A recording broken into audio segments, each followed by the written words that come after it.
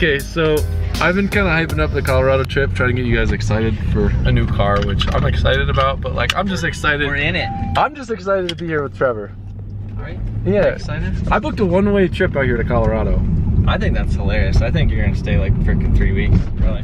So I kind of can't. I have I have some stuff that I got to handle back home that's like really important. Yeah, I've, I've heard about that stuff. Yeah, it's not fun stuff. That But is, uh, that is look at the mountains. But uh, we're gonna eat and talk about stuff and probably not film it. We're gonna go look at a. Do you wanna go look at a car? I want to get a dirt bike. Can we go get dirt bikes? I have a dirt bike at the shop. Do you? I I want a I want a 150R. Okay. Uh, do you wanna go look at something with a V10 in it? Sure. That's all we'll drive. All right, dude. What what's going on with the Saab? I thought I thought that this car was all that, like Watch a cup of tea. What? Oh no. All right, you got two. Look at that. Oh, Two. Not much this. All right, she's all right. Oh, you gotta reach ah, behind. there you go. Okay, honestly, I I see you, Saab. Dad wagon. I bet Saab's got some cup holders. No, no cup holders in there. no cup holders right All right. there. But anyway, yeah, I'm impressed. So um, we actually are going to look at a V10 car right now. V10 all-wheel drive. Yeah. It has- That- I feel like that kind of gives it away, doesn't it? Turn right onto Templeton Gap Road. In, in a way, This isn't for me, by the way. I don't. I would I mean, never. it, it might. all-wheel drive is I'm dumb. Gonna, I'm gonna be like it's expensive, and you're gonna be like, actually, that sounds really cool. And then you're gonna end up with another car. I mean, It's okay. I'll build it for you though. a rally car with a V10 would be cool. Should I pull in front of this guy? Yeah. Mom told me to never pull out. Been so long since I've been at your shop, dude. How long has it been? Like two years? A year? It's been Five years? two freaking years. All right, so so which car is mine? That's what you guys probably want to know, huh? Which one of these is gonna be my drift steed for the weekend? So I think what I, I kind of want to get my. Does it run right now? Yeah. Is it on the ground? Yeah. I think what I'd like to do because I haven't seen this car in person ever. It's beautiful. So this, this is not starting off the hype train right. I think I don't want to even go in the shop. I think I want to just have you like open up like Open up the door open up the like- door, but it, it's got to be running so like so you can get that rev. Okay. Yeah, I feel like that's part of the experience because if if it's not running, they're gonna be like, what is this piece of junk? I mean, it runs. Yeah. I mean, which it's got the thing in it that like makes it run, which is good. Gas. No, the engine in it. It's got that the good engine. Oh, it's got that good good. It's got that good good. Yeah. Ooh, it has got that good good. What? I'm not gonna talk.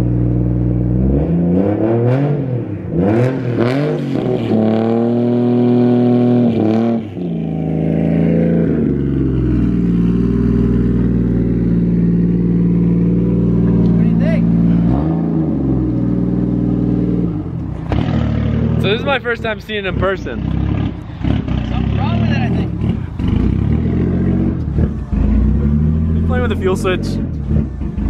No, that's how you have to He thinks he's so funny.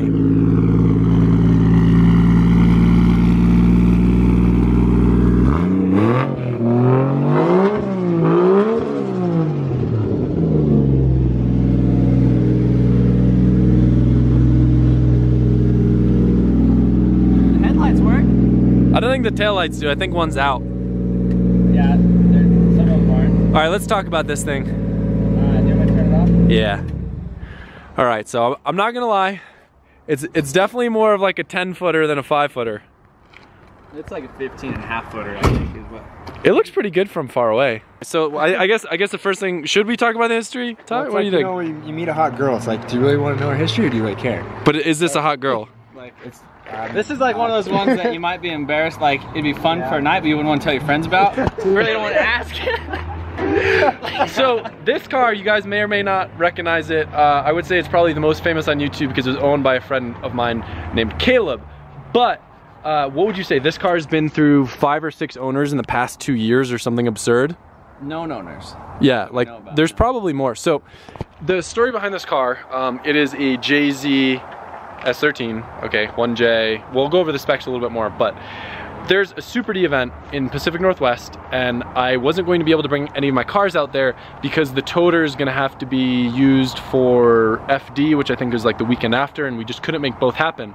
And I was kind of joking around with Chelsea about getting a car off him, and he's like, "Well, I have Klonbeck's old car that I'll sell to you." So I kind of worked out that I was going to get it off him for Super D, and then Trevor's event was coming up, and I couldn't get a car out here for that. So Trevor's like, "Oh well, I'll ship the car that you got off Chelsea out here for the event." Help, help him prep it, go over all the little stuff. So I think this was actually Quanbeck's car. He gave it away once, Then he it went to a guy. He sold it to a guy. It came back. Then it was in Florida.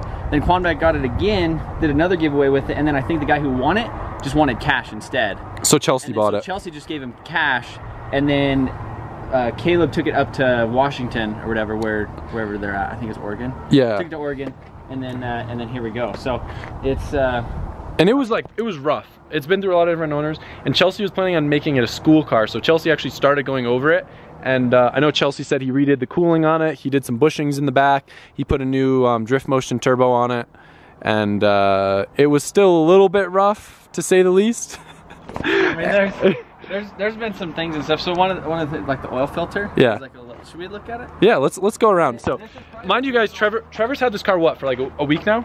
It's about a week. So he's had the car for about a week and he's been going over it. Trevor's been filming stuff, and what are you gonna have a video, kind of all the maintenance and stuff you've been doing, and Nothing wrong with Adam LZ's new drift car. When will that video be up? Tomorrow? Probably tomorrow, maybe Uh, today. all right, so- it's gonna be tomorrow. Check the link in the description, Motion Auto TV, if you guys want to see the video on how janky this car was before he started going over it. So talk to me, tell me about things. cooling system on this thing, see it rips. Like these freaking fans, I don't know what they are. I think they're, they might be out of a Taurus or something. Yeah, I heard Chelsea they- talking about them. They freaking rip. And then I think he leaned the radiator forward. Yep. Uh, get a little bit more clearance and everything. So that seems like it works really good. Um, that air filter was like, it, it was like it was an actual oil filter. It was like just only like oil and dirt and stuff. So that was like the first thing to change. Change the oil, the tranny fluid, the diff fluid, fuel filter. Um, but in order to actually get the oil filter off, so it has this oil cooler right here, these lines. Uh huh. But so we actually had to jack up, and like loosen the motor mount. Oh my god, it's like. And Oh, that's annoying because the way the sandwich mount is, yeah. So we had to do that. To, that's Um, that's funny. But we got her changed. So then, um, so okay, so that's why you're saying probably no one's changed the oil filter while owning this car. a while, yeah. Yeah, so if, if you guys don't understand what we're saying, um, the oil filter is trapped by the frame rail because of that sandwich plate. So there's no way to get to the oil filter without jacking the engine up for clearance. That's funny. So we did that. Or I guess you might be able to get like a shorty Look at- filter. Look at the air filter that was on it. Yeah, looks good. Yeah, it looks. It looks. So spec wise for the engine, just to go over it real quick, it's a R154. Uh, is it tripod style? Do you know? no. Okay, so it's a Mark III Supra style. All right, Mark III Supra R154 mated to a VVTi 1J with a drift motion turbo. So if this thing's turned up, she'll be making somewhere in the mid to high 300s. But right now it is on lower boost until you put uh, until we put a controller on it. Um, but let's, uh, man, the paint like it looks good from a distance. Up close, it's a little iffy, but Yeah, Alright. and I think this is just a really cheap Duraflex kit too. is it? So this, yeah, I mean, it just, it all kind of goes on together and, and it, it comes off together too. So the the beauty behind this car was that uh, we were talking for Trevor's event. He was talking about like getting a car off one of his friends or like trying to find a car, but we would have had to put a lot of time and effort into it. Where this kind of was turnkey in the sense that Chelsea had been driving it, knew that it was sorted, so it was a little bit less of a headache. Like I'm not going to rent cars anymore. It'd be easier just to buy this, drive it, and then either flip it or find another use for it. So Yeah, or just keep it out here in Colorado and come, come to some more of the events. yeah.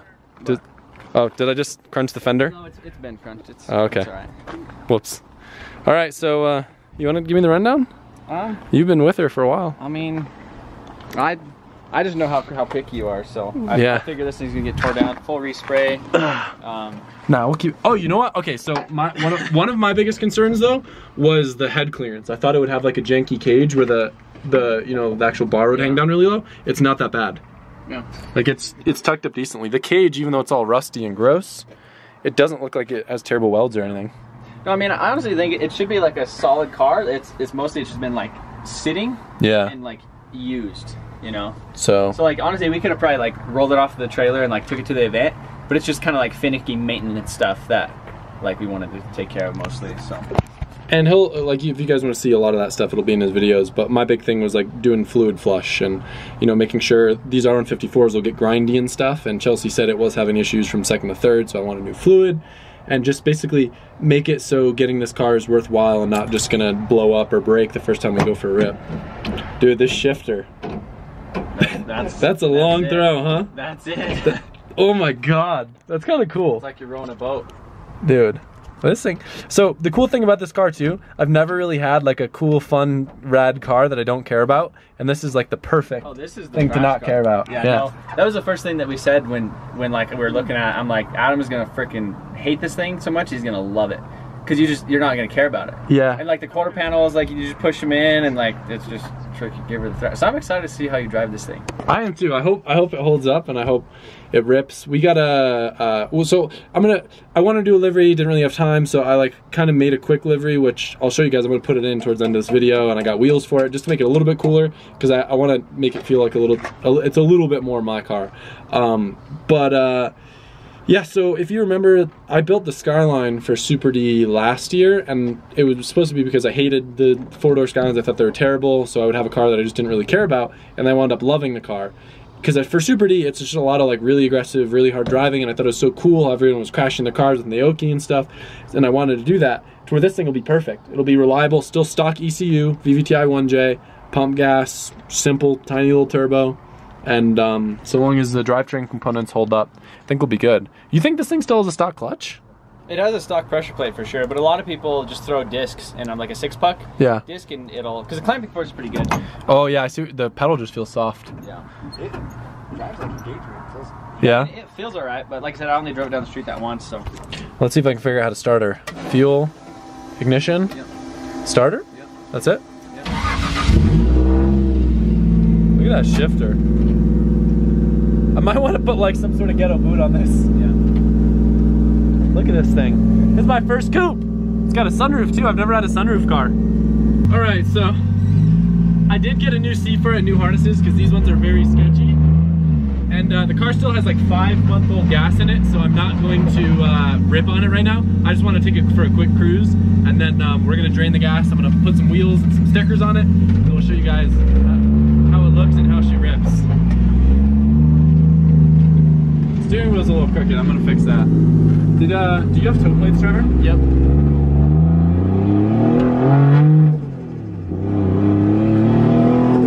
Yeah, she's a little laggy. Is that just the drift motion turbo, you think, or the bad gas? It could be the drift motion turbo and then the factory blow off valve. Oh yeah. Because I haven't, I haven't deleted that yet. Oh, but we have the delete set up for the blow off valve, right? Yeah. Yeah. So the factory blow off valve on these Trevor's telling me can actually hurt spool a little bit. So we don't have a plate or anything, so we're not gonna take this on the road right now.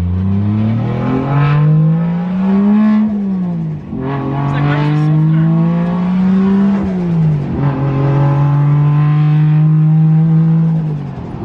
The coilovers actually feel pretty nice. It's uh, it definitely needs a little more toe out. The front feels like it's towed in. So alignment wise, I think that'll make a big difference.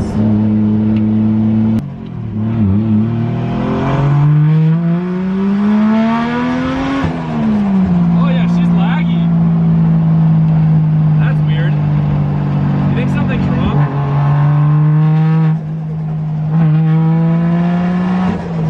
That doesn't feel like it should feel for 10 psi. Maybe it has a lot of boost leaks. I hope it doesn't have like a blown head gasket or something stupid. No, we had it all the way up to 10. Does that have turn signals? No. No turn signals. We don't need them because you're not on the street. Why won't it let me go into third? Yeah, so hopefully we can make this thing spool faster. Yeah. It definitely doesn't feel healthy. Well, it's on like nine pounds too, and the so those factory blow-off valves, Yeah. they really, really limit the torque on these things to where it feels like a Toyota Camry. Yeah. Like when it's like spooling up, like the Toyota is just like super smooth. Whereas these normally, like the one that I had a couple years ago, you could literally rev it, Uh-huh. like free rev it, and it would make 10 pounds of boost. So the the purple car that we did, did we delete the blow valve on that one? Yeah. Okay, so maybe that is maybe that's it. Yeah. We'll, we'll unplug all that stuff. But Oh, is that fans? yeah. Got it. But it seems like it stays pretty cool though. Yeah. And in order to get the these gauges to work, you have to have the dash light thing on. Got it. 'Cause that's how they get their power, I guess. All right, so stay tuned. Hopefully, we'll get her faster by the end of this video. so I, like for me, for whatever reason, I feel like wheels make a car. So I kind of last minute tried to order wheels, and the kind of tried and true for what I do on these cars is the works and the 17, 18 staggered. Just because there aren't a lot of companies that make wheels in the specs that I need for the setups that I like to run. And this car's an 18s all around right now, and Trevor was saying it rubs in the front. So. What what kind of wheels do you think I did? What's what would be the most typical Adam move to do? Really lame ones. Yeah, look at me. Cheap ones. So played out with the stupid CR Kais. But they work and they always look good. So, all right, I'm gonna mount some tires to these real quick. I quick. think you're the only person ever to put works on a missile car. You think? you might not be wrong. Uh, whatever, they'll be cool. I like these wheels. We're in a rush to get out of here because we got to go over to the track. Trevor's got to drop his car off. So I'm gonna start working on some of the vinyl stuff. Dave's gonna do the most important job and mount the tires to the brand new wheels. Dave, you think you can handle it? Maybe we'll see. These ones go in the front, right? Uh, I don't know. Are these the 17s? Are these the 17s or 18s? I can't tell. Um, I also got a seat off Chelsea that I'm gonna throw in later, just so I can have something that fits me a little bit better and I actually feel safe in. I'ma sit on the side, cause that's the side I'm sitting. I never run, I just start looking. See, I know it's over. I'ma sit on the side, cause that's the side I'm sitting. I never run, I just start looking. Oh, you're gonna leave me with this? What? What's going on with that? All right, guys. digging for gold, okay? That's, I gotta, All right. gold This is what you're looking at now. And this is what you're looking at now. What do you think? From from 15 feet away, I feel like it looks pretty cool. Between the wheels and the vinyl. 15, well, I mean, this is probably a 10 footer now. Yeah. So Looks pretty good. I'm pretty stoked with how it came out. Uh, I cleaned it up real quick, put some body panels back together a little bit, and uh, I think she looks pretty cool. I'm not going to be embarrassed to be driving this thing around. I think it looks pretty rad. This might be one of those one night things that you might tell your friends about. What do you mean? Oh yeah. So we- we've escalated now. But you just, you gotta make sure you, you find the right picture. Dude, yeah, you, you get the right angle and like it kind of looks pretty cool. So I'm gonna play around probably. I still got to do the vinyl on the other side. These are 18s in the front right now. I have 17s for it, but we just need to go get some tires for them. Um, but uh, we're gonna work on this a bit more tonight. But I wanted to upload this same day. That way I could remind you guys that tomorrow at Pikes Peak International Raceway. PPIR. Is that how you say it? Yeah. Yep. And it's Fountain, Colorado. So uh, it's right down down the interstate. But uh, I'll put the flyer here if I can get it while I edit. Link in the description probably to the Facebook group. Okay. Uh, it's twenty dollars for spectators for both days. Uh-huh. Um, or twenty dollars for the whole weekend, basically. Uh, camping, live music, and a bunch of stuff. So we're gonna we're gonna go out there and thrash. Oh, eighth mile drags. So this thing still needs a little bit of buttoning up. I'm uh, gonna crank the boost up and get this thing ripping. I'll probably film that, but you guys won't see it till tomorrow's video, which will be combined with the first day of the uh, drift event. So anyway, we're gonna throw the old wheels back on and go rip some donuts, close this video out, head over to the track, and then start the next one. So hope you guys like the uh, missile car for a couple events out here in West. Would you consider this West, Midwest? Yeah, it's it's, it's like middle middle. It's like middle-ish west. I think We're pretty much. Sick. Anyway, there she is.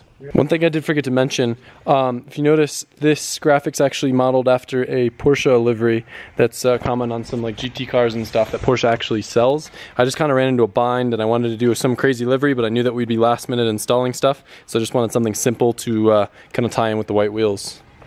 So what's going on here, Trev? Well, we're just deleting this. Uh, this is like the boost, like valve for the factory blow-off valve. Uh huh. So from what I understand, these things, it bypasses this until like 3,000 RPM and basically lets it not make boost. So it gives it like a really smooth linear torque curve. Because you know how crazy these things are down Yeah. low. Like they're just like super rowdy and peaky with the torque. Yep. Like, like right there. And as you felt, it was just like, "Mm," and then it kind of comes in. So uh, basically, I'm just deleting this, this whole thing, and running it the vacuum line straight to here. So we're gonna see. This should make it work like a normal blow-off valve. Uh huh. Uh, but if not, we're just gonna disconnect it and no blow-off valve. Sounds good. So we think the reason why it might be so laggy right now is it might uh, have a stuck VVTi solenoid because it feels slower than a non-VVTi 1J. So Trevor actually has a new one laying around and we're probably going to swap that later. So in the meantime, we'll do some celebratory donuts and then get over to the track.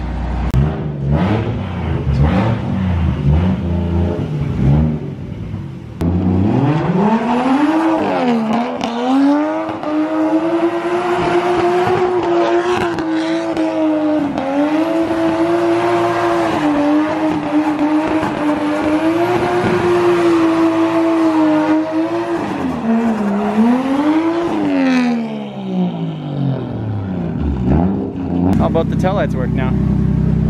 Hey, both the taillights work now. See you tomorrow!